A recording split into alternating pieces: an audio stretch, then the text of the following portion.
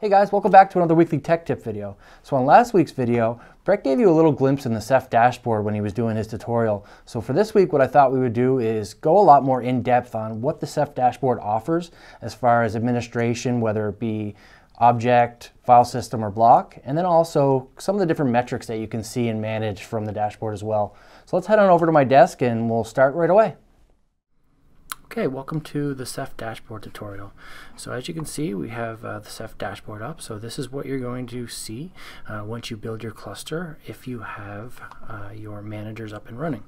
So as you can see, there's quite a few different metrics that you can get at a glance here. Uh, for, so first and foremost, you can take a look and see here that gives us a cluster status of the health of our cluster. And should anything at all happen, uh, you will get a warning here immediately. And also you get a little uh, update as to where the issue is occurring. And then you can go in and, and view your logs and try to figure out exactly what's wrong. So as you can see also you have things like your monitors, how many monitors you have in your cluster, also how many OSDs you have up. So OSDs, for people that are new to Ceph, uh, you can imagine those as hard drives. It is possible to have more than one uh, hard drive or one, more than one OSD per hard drive, but uh, it's very rare only in very very fast NVMe drives and things like that or for specific use cases. Uh, next we can see our manager daemons, uh, how many we have in active and standby. We view our iSCSI gateways, our metadata servers. So you only have metadata servers if you're running CephFS. Uh, we run them in active standby mode. Um, then you'll see your object gateways. And then hosts is how many hosts are part of this cluster, how many uh, actual servers are in this cluster. And, and, then if you actually click on it, you'll see the different services that they run. Uh, but continuing on, you get to see the client throughput and client IOPS. So you get a nice little view at a glance of how much uh, work your cluster is doing right now on the client side. Then also you get a little recovery throughput uh, as well. So if, if your dashboard, or sorry, if your cluster is uh, recovering if it's uh, recovering to parity if you lost a hard drive and it's uh, moving the data back through the cluster to, to recover parity you will see that throughput here. Then also you can see if there's any scrubs happening. So um, when Ceph does a scrub what it does it compares with uh, other pieces of data the other replication of, of pieces of data in the cluster to ensure that there's no corruption or bit rot on, on your cluster or any parts of your cluster finally we come down here and we see how many pools this cluster has. We'll be going into that more in depth later. And then you can view the raw capacity, how many objects, and then just get a rough overview of placement groups of how many each OSD has, and then uh, the status of those placement groups as well. So let's move on. So we're going to come into the cluster tab here, and first and foremost, let's come in and look at hosts again. So what you're going to see here is a list of hosts that are part of your cluster. So OSDs are the actual storage servers themselves. And as you can see when you look in, um, servers can do more than one service. So you may have multiple services running on different uh, different devices. So as you can see on the OSD nodes, uh, almost all of them are running the manager. Actually, all of them are running the manager service. And then for the monitor service, since we have a even number of OSDs. You can't have an even number of monitors because you want to have them in quorum and to be able to tiebreak if there's any debate over which cluster map is correct. So you will have an odd number. So as you can see, we have five in this one. And actually, to that point, we can uh, come over and take a look at our monitors right here. So there's not much you can do in here, but you can just view what uh, what nodes are using are running the monitor daemon and also if they're in quorum or not. Uh, so moving back to hosts, actually you can take a look here. This is uh, a nice view at a glance of some of the metrics that you're going to be able to see throughout this entire dashboard. Um, so the way that uh, Ceph gets its metrics in the dashboard like this is we use Prometheus to scrape the, the metrics and then Grafana to display them. So you'll see quite a few different uh, metrics throughout the entire dashboard. Okay, so moving, moving on here, we come to OSDs.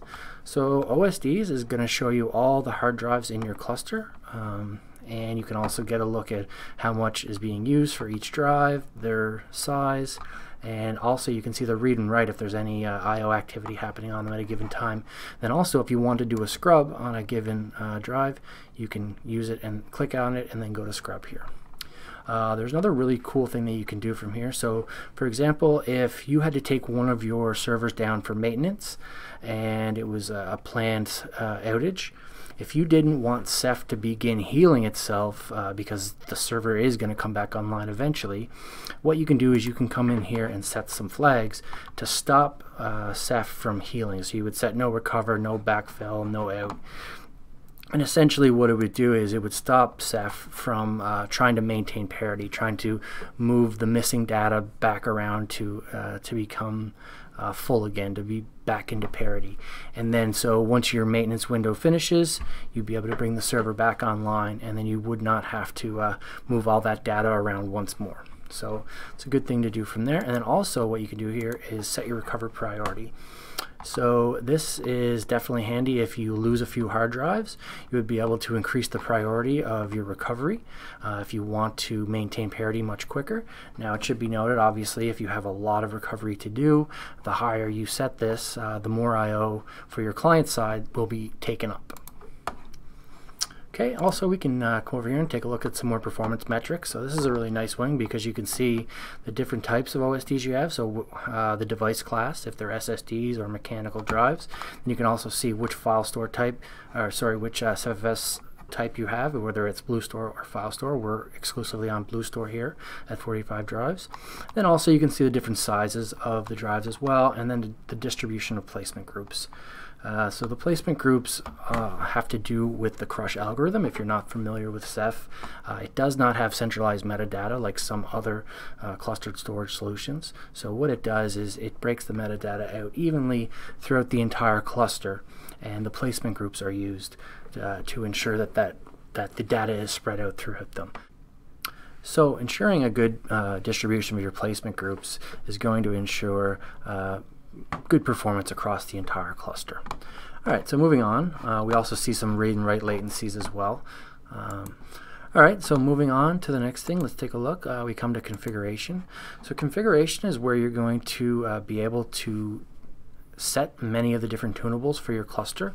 So there's lots of different things that you're going to be able to change here that uh, you no longer have to go into the command line to do. So for example, if you want to uh, list it by the different service that these are running, you can do it here. So you can set OSDs and you can view different uh, different metrics for each service, the manager, uh, and monitors as well. So mon memory auto tune, so auto tuning how much memory cache is being used for OSD monitors, any things like that. Uh, you can come in here and do it from here. Next, moving on, we come to our crush map. So the crush map is essentially just a read-only view of the failure domain and the hierarchy of your cluster. It just gives you an overall view of how your cluster is laid out and which OSDs are in which uh, server or OSD server. You can also view the weight uh, associated with each OSD and which uh, type of device it is as well. Okay, moving on, we get to our manager modules. So really all we're going to see here for us is the dashboard. We can see that it is enabled because we're using it. And you can get an idea of uh, the metrics for the uh, you can get an idea for the metric server here and also you can take a look at the IP address and just some some info about your dashboard.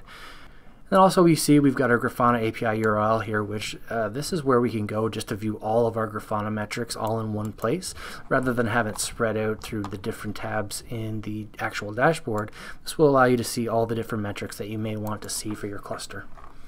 Okay, so moving on, uh, all really that's left is we have our logs here. So this is definitely where you're going to go if you have any health warnings or if you go into an unhealthy state, you can get some clues here in the logs. Then finally, we just come to our alerts and silences. So if you have any alerts, you will see them here and you'll be able to create a silence. If you're working on it and you don't want it still yelling at you, you can create a silence here once it comes up. So next we come to our pools. So this is uh, the section where you'll see all the different pools created in the cluster. So many of these are going to be auto-created when you do different things. So for example, if you're doing the RGW gateways, you'll have uh, quite a few of these auto-created and then the same with CephFS. So we have CephFS running here. So we have auto CephFS data and metadata is created. But also on top of that, if you want to create your own uh, you want to create your own pools, you can come in here and click create and it's very very simple you just name your pool name the type of pool you want to use whether it be erasure coding or replicated and if you choose uh, replicated for example uh, you would change how many reps you would like to use. And then if you do erasure coding, you would set what type of erasure coding profile you would like to use. So we have 2 plus 1 here, and we also have the default. Um, so continuing in the pools bar here, we can also get some more metrics. We can view the top 15 client IOPS and top client throughput. And then also an interesting cool thing that you can see here is you can see the top 15 pools that are used by capacity. So which pools are they using the most data, uh, which is nice to see sometimes.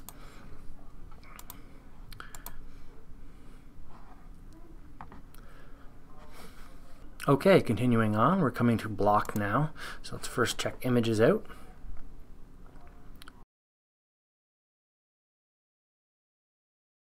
Okay, so here we are. Uh, this is a list of all the images that we've created thus far on this test cluster that we have here in the office. Uh, so essentially these are RBDs, which is how Ceph handles block devices.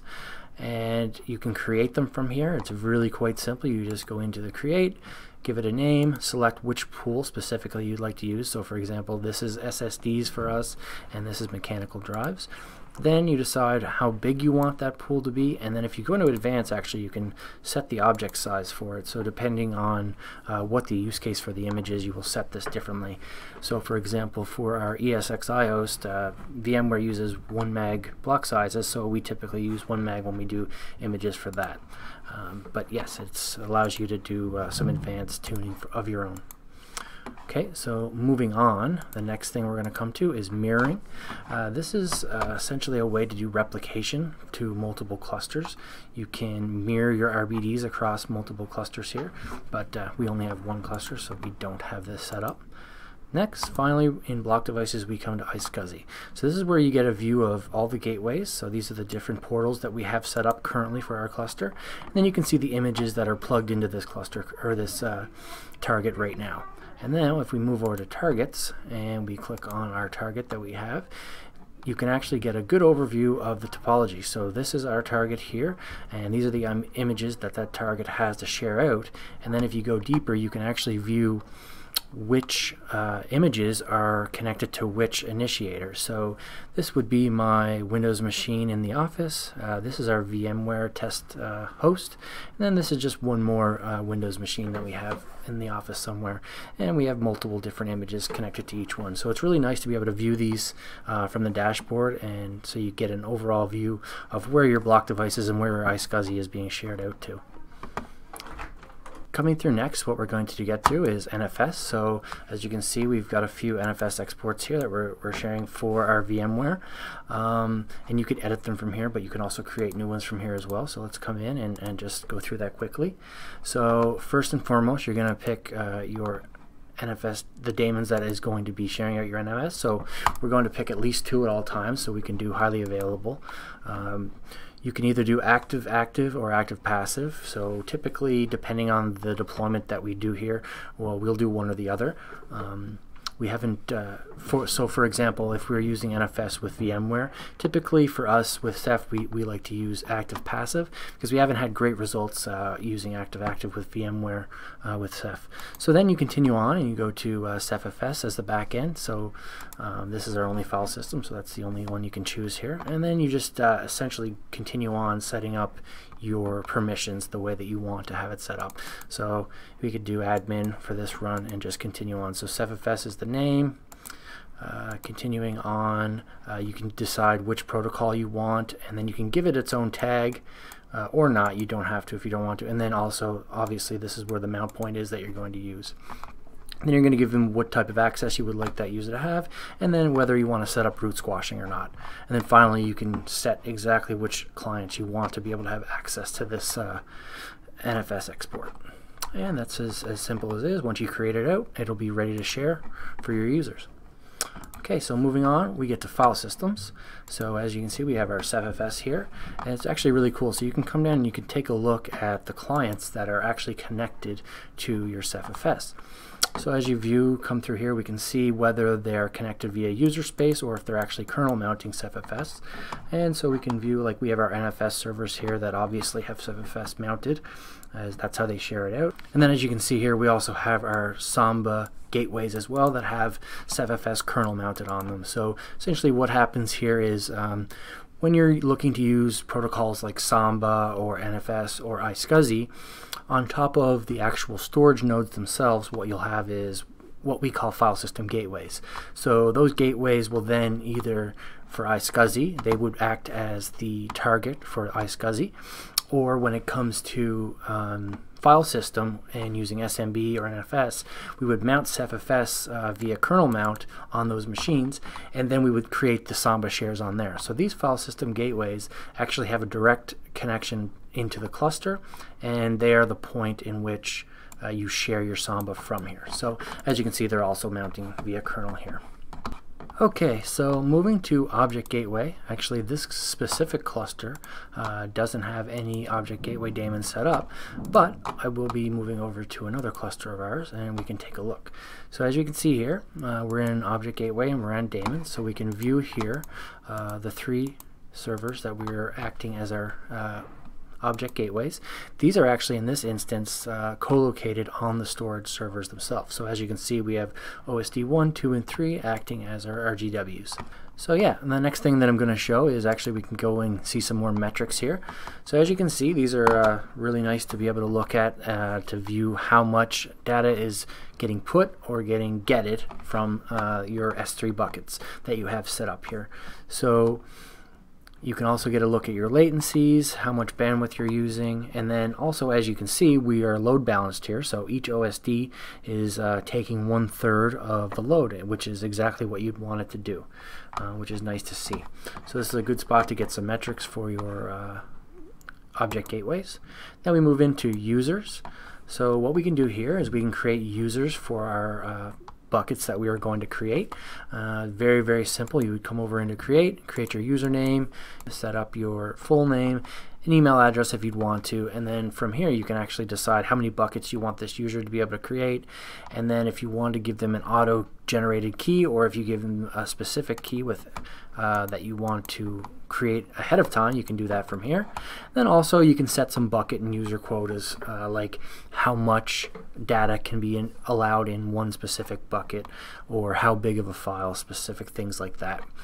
And then moving finally, what we get to is our buckets. And it's, again, very, very very simple to create buckets that can be shared, uh, fully compatible with the S3 protocol. Um, so we come in, we can set create, and then all you really have to do is set the name that you want to give it, and then which user you would like to be the owner. And then you set create bucket, and uh, the bucket is then created. And then you can use many different things to access that bucket. Actually, we've done a great video recently uh, that Brett did, and I actually set up the screenshots for them, is showing all the different ways that we can share out and, and access S3 buckets. So with any of the S3 buckets that you would create here, you'd be able to use S3 Browser, CyberDuck, um, really anything that we talked about in that video would be able to communicate with these buckets that we would create here. Alright guys, well hopefully you enjoyed uh, this walkthrough of the Ceph dashboard and everything it has to offer. Um, if you have any questions or comments about anything you've seen or anything you want to see further, definitely let me know. Uh, put it in the comments section and uh, I'll be sure to address it and maybe even create a new video to go a little more in depth. All right, so hopefully you enjoyed that deeper dive into the Ceph dashboard. And if there's any specific thing that I went through in this video that you want to learn more about, just let us know in the comments and I'll definitely create a, a video that goes into a more deep dive on something very specific. All right, so I guess we're at the fun fact time. Uh, Brett seems to be really good at these. Uh, mine aren't quite as funny, but uh, I thought I had a good one for Ceph at least. So Ceph's releases go in an alphabetical order. Right now we're on Nautilus. And the next one is coming up really soon, and that's going to be called Octopus. So that's a fun fact for you. All right, guys, thanks for watching, and we'll see you on the next Tech Tip.